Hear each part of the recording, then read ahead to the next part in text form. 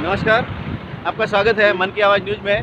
आप देख सकते हैं कि यहाँ हाँ, परवान से आगे आईआईटी कॉलेज जो बन रहे उसके बाहर एक हिरण मरा हुआ पड़ा है।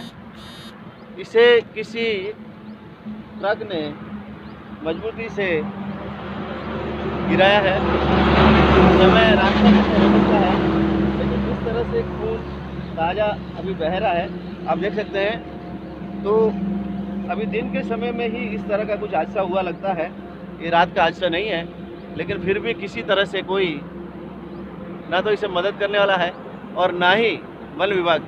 आप देख सकते हैं, कुत्ते उनको खाने की तैयारी में है।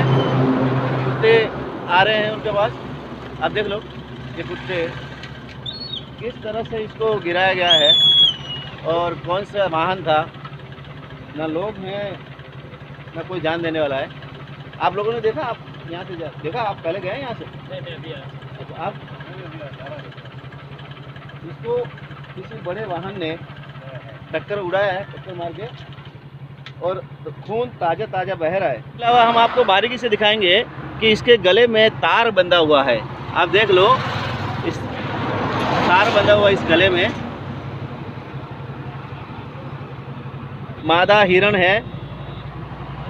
और मर चुकी है।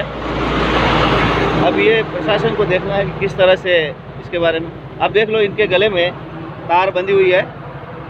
हाँ, जिसे मारने के लिए लोगों ने लगाया लगता है। लोग भी यहाँ हैं जाते हुए रुके लेकिन किसी भी तरह से कोई रुकने को तैयार नहीं है।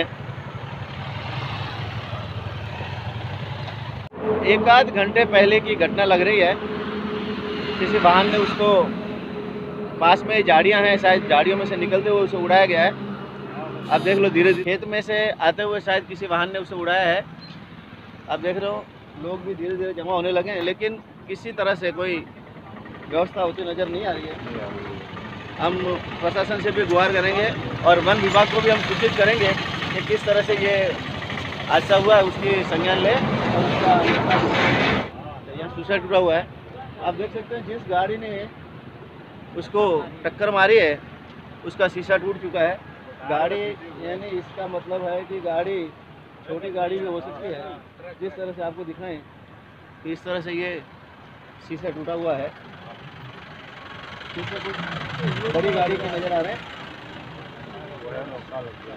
उसने यहाँ तक कि अब उस गाड़ी पे लगा हुआ रेपर भी मिला है। ये रेपर आपको बताते हैं, इस इस रेपर को, ये रेपर मिला हमें यहाँ पर। और हो सकता है कि उस गाड़ी वाले ने भी कोशिश की हो, क्योंकि ब्रेक के निशान लग रहे हैं। ब्रेक मारने के निशान लगे, लेकिन ये अचानक इतना ब्रेक अगर उसने वहाँ मारे हैं तो वहाँ या तो ओवरटेक की वजह से ऐसा हो। ठीक है, हम प्रशासन से गुहार लगाते हैं कि इसका निस्तार करें। आप ये प्रशासनिक गाड़ियाँ भी जा रहे हैं, लेकिन कोई रुकेगा नहीं।